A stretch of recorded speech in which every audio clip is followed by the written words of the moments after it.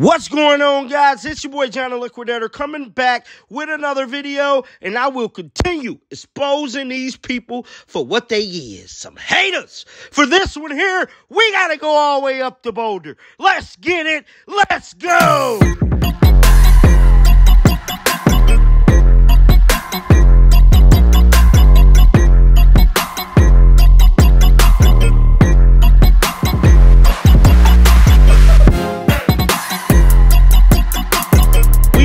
These last couple days has been a rocky one for Coach Prime and the Colorado Buffaloes because the haters has been at an all-time high when it comes to him and his team. We got coaches speaking out. We got other media sources trying to spin the narrative in regards to Coach Prime and his Colorado Buffaloes. And I believe I finally put my finger on it, guys, to why Coach Prime and the Colorado Buffaloes is getting so much hate. And when it comes to Coach Prime himself, he is very familiar with the hate. Because back in 92, he walked into that locker room and doused you know who with a bucket of ice. So Coach Prime ain't want to keep his mouth shut or not want to take action when the hate is really getting out of hand. But guys, I want to share something with you. Now, what I'm putting up here on the screen really had me thinking, man. Like really long, hard thinking. Shout out to my homeboy RJ Young over at Fox, man. He stated in seven months, Colorado sold out of season tickets for the first time in 20 27 years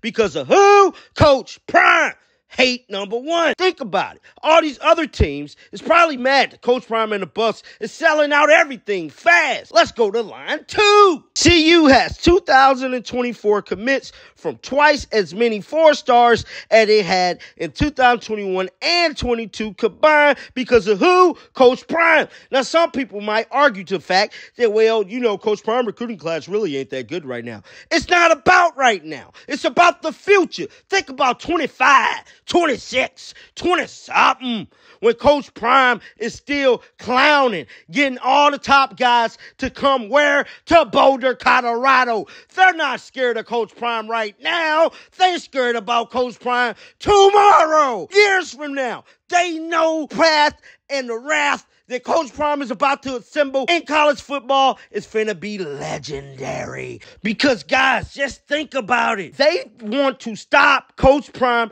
and the Buffs right now. They don't want all this publicity to boil over to 24 25 and 26. Well, I'm here to tell you.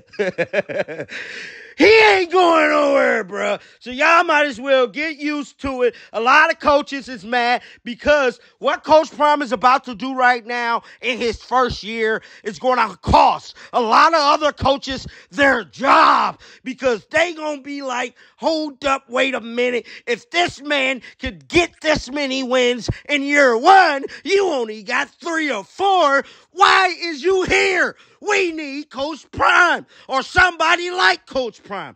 They don't know, but it's going to cost a lot of coaches their job after this season, I can almost promise you this. This is the reason I believe the hate is so high for Coach Prime. And it's wrong. It's wrong. Let the man have fun and live and put together a great combination of a winning football team. Get down in the comment section. Let me know what you guys think about this theory.